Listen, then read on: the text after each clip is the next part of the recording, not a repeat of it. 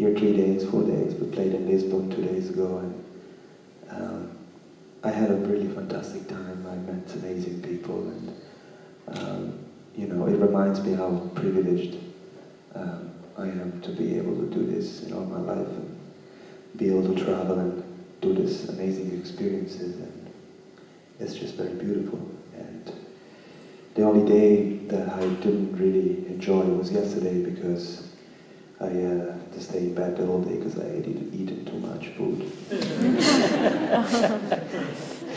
you know, which is like it's incredibly good here, guys. Like we, I didn't know. We've been to Matosinhos today.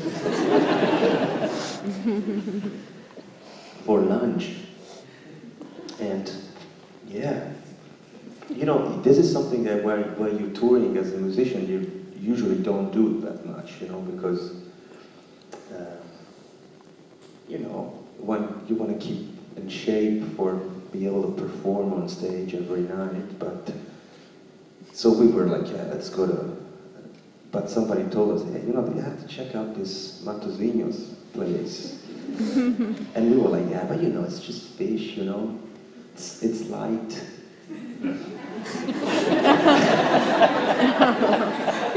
you know? But I think I had like, you know, I never, I don't know, I was uh, blown away about this drill situation. I think I had too much. and, uh, but anyway, uh, it was a fantastic, and I, you know, I really love you people. It's an amazing country. So yeah, I mean, I'm, I'm originally from the south of Italy, so I guess this place, Espinho, reminds me a little bit of, of some um, small cities in the, in the, southern Italian east coast, where, which is where I originally my family comes from.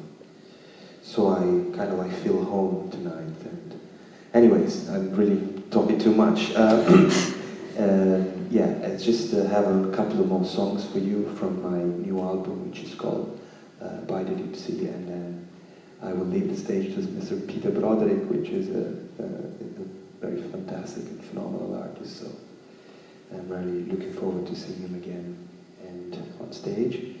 And yeah, I'm gonna have him. I have some CDs here as well if you guys want to have one.